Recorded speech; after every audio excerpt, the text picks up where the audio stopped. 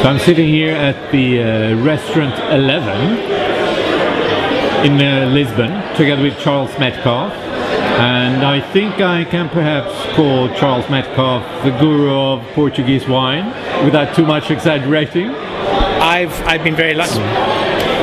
One of the things you said was that many of the winemakers are, well, it's a new generation with a lot of technology savvy and uh, knowledges which know uh, in detail the chemistry. Do you think Portugal is a bit of a new world wine country? Is Portugal New World? That's an interesting question. Um, I think it's it's it's New World in the sense that they have improved hugely, even over the last ten years. Um, they've got these young winemakers. They've rediscovered some old varieties. There was one in my tasting this evening, an old variety from from near the mountains of the Serra da Estrela called Fonte Cal. Portuguese variety. Most people in Portugal have never heard of the Fonte Cal. It's a white variety, makes very steely mineral wines, and you know it's more been a process of rediscovery than actually things which are completely new. Hmm. But I think you, you know it's it's a combination of Portugal having benefited from the investment that the European Union has put into Portugal in things like infrastructure of roads, motorways.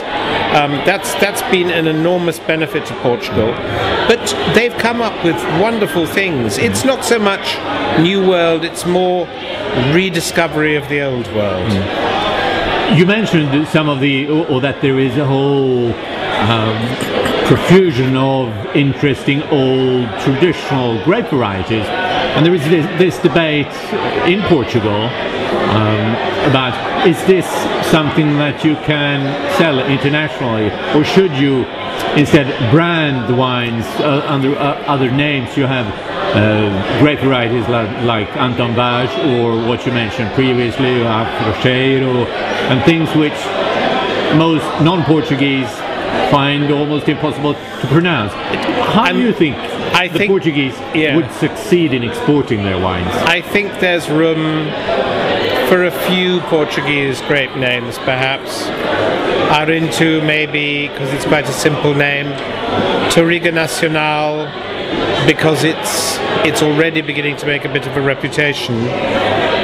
Maybe one or two others, but I think actually brands are the way forward. Hmm. Now, a brand doesn't have to be a big, sort of dangerous, ugly thing.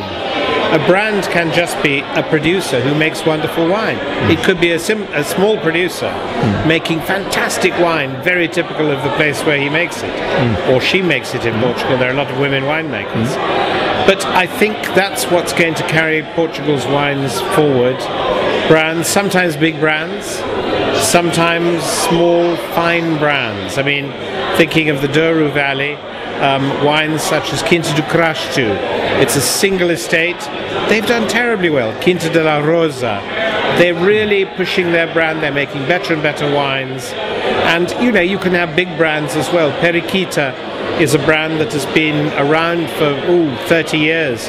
Jose Maria de Fonseca, one of the big merchant companies. Hmm. Mateus is a brand. Hmm. You know, it's a brand for slightly fizzy, sparkling pink wines. Hmm.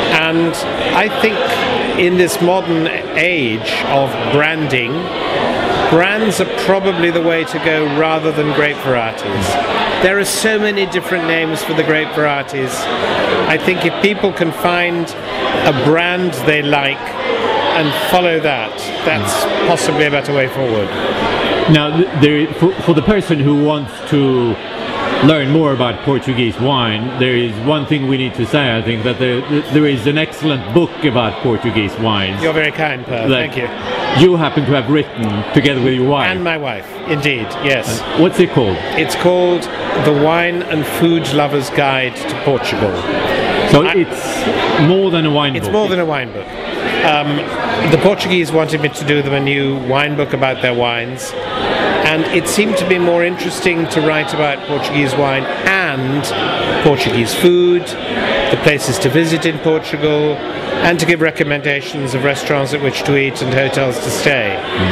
And so we've written what is essentially a travel guide for people who like eating and drinking. Well, I, um, I can unashamedly say that I think it's a very good book. We travel a lot in Portugal ourselves, and we organize wine tours to Portugal, and we use your book when we plan our trips. So Good, thank you. I'm glad to hear that. It's a very good source for wine producers and uh, I- gastronomy and food and Yeah, restaurants. I, it's got a lot of detail in it. I mean, we put a lot of background research work in it, and as far as as far as hotel and restaurant prices, you know, things go out of date. But you know, we, we, we had friends of ours here in Portugal endlessly ringing up Portuguese restaurants to find out how much a three-course meal would cost with a glass of wine, and um, it's it's a it's a fairly good indication. Prices may have gone up by say five euros since we last reprinted the book, which was in 2008. But I hope they're not too far out. At least it gives an indication of which restaurants are expensive and which are good value. And the same for hotels. Charles, Charles Metcalfe, thank you very much for talking to us about uh, Portugal, Portuguese wines tonight. Uh, it's been a pleasure. Thank you.